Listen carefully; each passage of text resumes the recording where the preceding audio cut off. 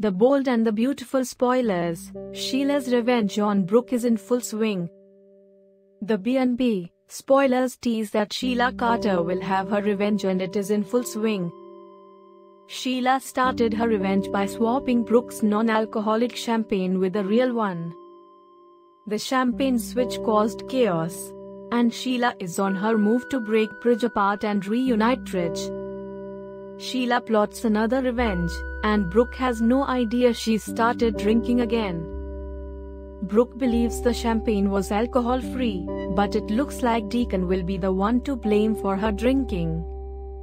However, her kiss with Deacon and spending a night with him will bring more troubles for her and her relationship with Ridge. Douglas always talks about Grandma kissing Santa but no one listens to him. Liam and Hope are not worried too about what he was saying.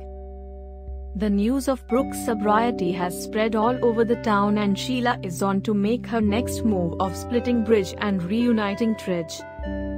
Spoilers also tease that there will be a fight between Hope and Steffy this week.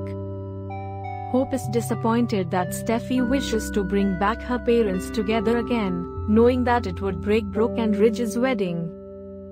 Steffy tries to convince her father that Brooke's sobriety has more than what she says, which is the truth. Hope and Steffy start arguing for their parents, and the stepsisters will exchange some harsh words. Brooke is in a desperate place as Steffy is hopeful that her parents can reunite. However, Hope doesn't want that and feels guilt for wanting her father Deacon in her life and Sheila is the one taking advantage and enjoying whatever she's seeing.